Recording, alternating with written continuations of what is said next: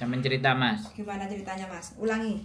Eh, awal mulai itu kan dia udah ek, dulunya udah pernah ke Hongkong, ke Malaysia, ke Singapura juga udah pernah.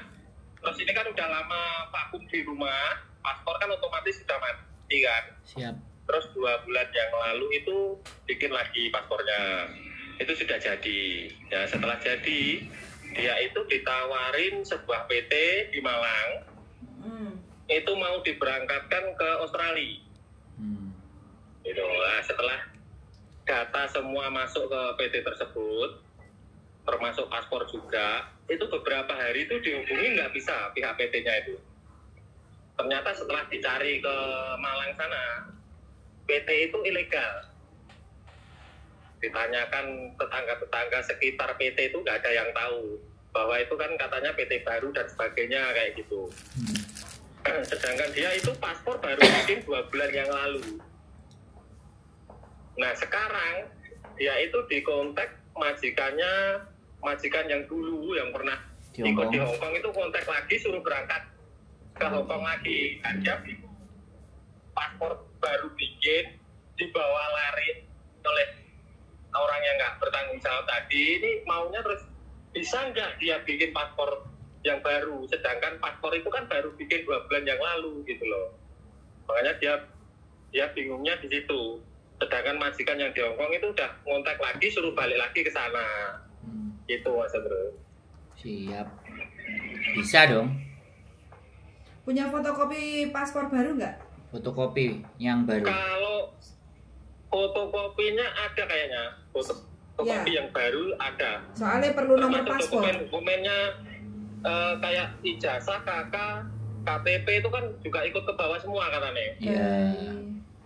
Bisa, Tapi- yang tapi penting kan. kayaknya masih masih ada Mm-mm. Siap. Semua serba bisa dibuat, cuma kan itu biayanya itu. Nambah lagi. Iya kemarin itu sempat ada yang nawarin katanya setelah dia bingung kan Mm-mm. cari, cari informasi ini gimana ini majikan udah ngontak sedangkan data sudah hilang data-datanya ini berkas-berkasnya hilang ini mau mana ada yang nawarin itu di Malang juga ada terus di Blitar itu juga ada PT katanya. Hmm. tapi setelah dia datang ke sana ke PT tersebut eh, itu ditolak semua. Katanya wah nggak bisa mbak kalau kayak gini. Ini sudah nggak bisa harus nunggu berapa tahun gitu kayak kemarin katanya. Jadi Alasannya? nggak mau ngeberangkatkan alasan pihak PT-nya tuh wah nggak bisa mbak ini. Soalnya ini apa baru bikin. Paspor kamu tuh baru bikin kok. Sekarang mau bikin lagi tuh udah nggak bisa. Kamu mau bayar berapapun itu nggak bisa gitu.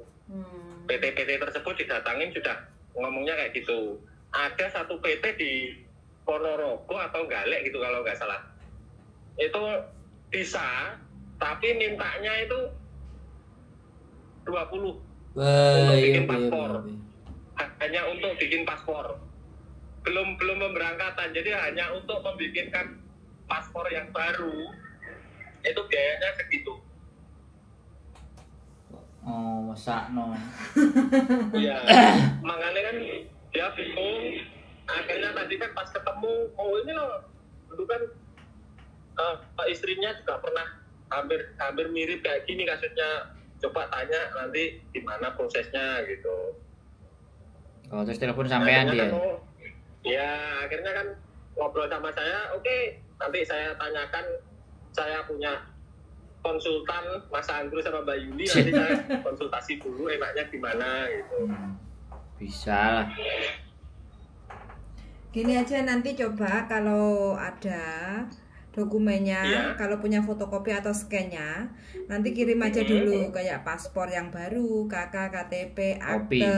Nah, Kopi. itu semuanya apa yang ada itu dikirim WA. Jadi kita pelajari dulu. Kayak gitu. Oke oke siap siap. Hmm, hmm, kayak gitu. Hanya perlu hanya perlu scan itu aja mbak. Kopi Iya, Mbak aja Yuli ya. Iya, Scan iya, kopi. scan. Oke. Heeh, Soalnya kan yang aslinya kan sekarang lenyap Sudah. di pangan rayap toh. Iya. Heeh, oh, nyap semua Mm-mm. di gondol tuyul. ya. Nah. Jenenge. kurang ajar yoyo yoyo dulu Iya. ya iso ae. Kalau yang satunya lagi ini temennya juga mau ke Hong Kong, cuman kan dia eh, paspornya mati, tapi udah yang mati itu udah udah hilang. Yang mati yang mati itu udah udah hilang. Hmm. Jadi dia mau bikin lagi, cuman cuman kendalanya kan eh, duit apa duit. belum punya PT, eh, belum punya PT, belum punya segalanya gitu. Kalau yang satunya, Oke. Beres semua itu Terus- mas. ya, Bisa nya. terus paspor yang lama itu udah hilang. Yes. Cuman Jadi- kelemahannya di situ. Tapi kalau untuk data-data nggak ada yang nggak ada masalah. Maksudnya eh, Sama. beda data itu nggak ada. Datanya semua sama. Cuman nggak ada paspor gitu aja. Hmm. Beres. Beres semua itu mas. Tinggal kasih Oh, nomornya kita ke siap, mereka aja. siap. Nanti dihubungi. Oke, oke siap-siap. Eh, besok na- saya kirimkan eh, berkas-berkasnya ke Mas Andrew kalau gitu. Nanti saya hubungin dulu orangnya, Oke, siap. Siap. biar teleponan sama Mas Andrew sama Mbak Yuli. Siap. Biar nanti nyusul Mbak Ira lagi. Eh, siap. Siap mbak. Eh siap siap mas. Eh, Pokoknya nanti Siap, siap, nyusul siap. Mbak E. Mer- Terima kasih.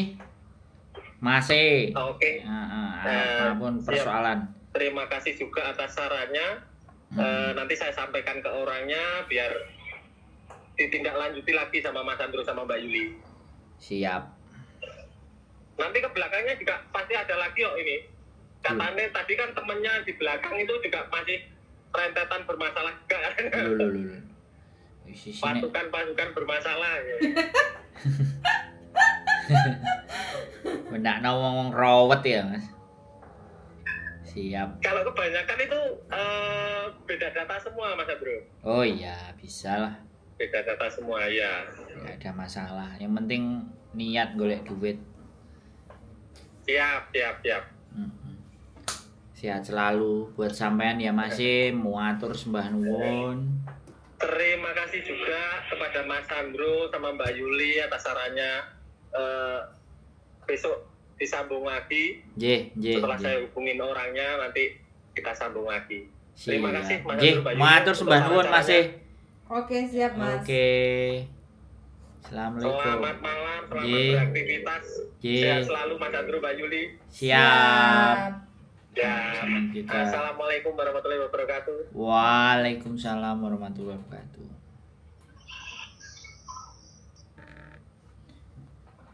Yang ini gitu Rek. Ya beginilah gitu loh kadang-kadang eh saking buru nih ngebet pingin cari uang ya. Belain ke luar negeri. Dokumen udah dibikin, eh malah lari. Kalau dokumennya diambil, terus duitnya diambil terus piye gitu.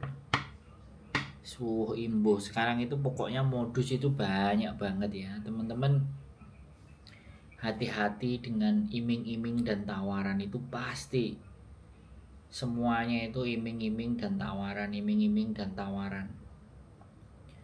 Orang kalau sudah lagi kepepet butuh terus diiming-imingi ditawari sing manis-manis jatuhnya ya diabetes. Jadi kadang-kadang kayak gitu tuh.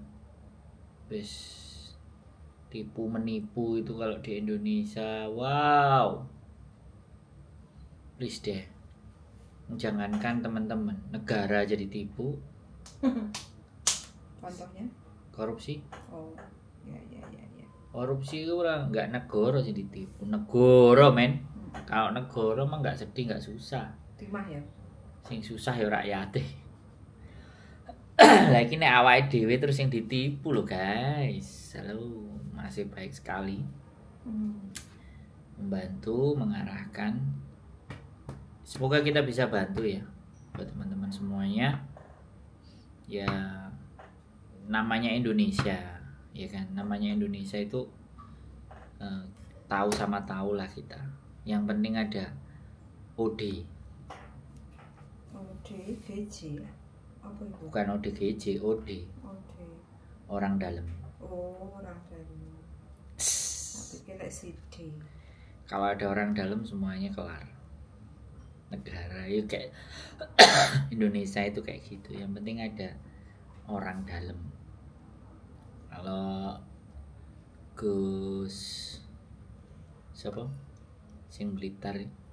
Hitam Gus Hitam kan dekengan pusat. Saya nggak nggak harus dekengan pusat lah. Kejauhan dekengan pusat. Hmm. mumet dah sih. Orang dalam aja lah. Orang dalam bisa nyelip nyelip oke gitu aja ya buat teman-teman semuanya. Tetap semangat keep stay tune my youtube channel and see you next video. Apa ngintip 10 menit? Bye bye